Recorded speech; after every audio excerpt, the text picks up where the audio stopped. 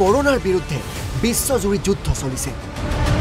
আৰু সেই সময়তে দক্ষিণ চীন সাগৰত আন এখন যুদ্ধৰ সূত্ৰপাত ঘটিছে। এয়া চীন আৰু আমেৰিকা সমুখ সমৰত চীনৰ নিয়ন্ত্ৰণত থকা দক্ষিণ চীন সাগৰত প্ৰৱেশ কৰিলে আমেৰিকাৰ যুদ্ধ জাহাজে।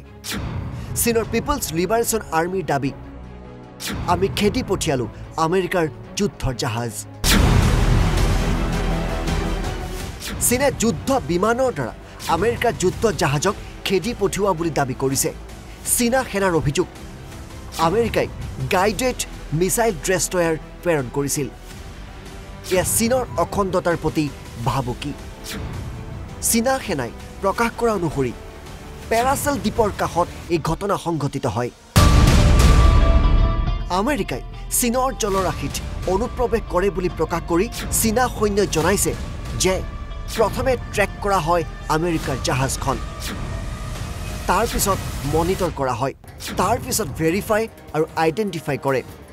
আৰু শেষত খেদি পঠিয়াই আমেৰিকাৰ যুদ্ধ জাহাজখন বিনা অনুমতিত আমেৰিকাৰ যুদ্ধ জাহাজে চীনা সীমাত প্ৰৱেশ কৰাত চীন এতিয়া ক্ষোভিত। চীনা সৈন্যৰ মুখপাত্ৰই আমেৰিকা সকীয়াই দি কৈছে ক্ষেত্ৰীয় শান্তি আৰু সুৰক্ষা অস্থিৰ কৰাৰ চেষ্টা নকৰিব। নিজৰ দেশত কৰোণাৰ পৰা কেনেকৈ জয়ী হ'ব পাৰে সেয়াহে চিন্তা কৰক। অৱশ্যে এই সংক্ৰান্তত এই পৰ্যন্ত সম্পূৰ্ণ নীৰৱতা অৱলম্বন কৰিছে হোৱাইট হাউছে। উল্লেখযোগ্য যে দক্ষিণ চীন সাগৰৰ বহু অংশ চীনে নিজৰ নিয়ন্ত্ৰণলৈ আনিছে। কৰোণা সংকটৰ সময়তো দক্ষিণ চীন সাগৰত চীনে চকু দিবলৈ এৰা নাছিল আৰু নিজৰ গতিবিধিও সমানে চলাই গৈছিল। দক্ষিণ চীন সাগৰৰ সৰু সৰু দেশবিলাকৰ ওপৰত চীনে সদায় প্ৰভাৱ বিস্তাৰ কৰি আহিছে আৰু যাক লৈ আমেৰিকা সহিত বহুকেইখন দেশ ক্ষোভিত হৈ আছে। ইণ্টাৰনেশ্যনেল ব্যুৰ ইছান নিউজ।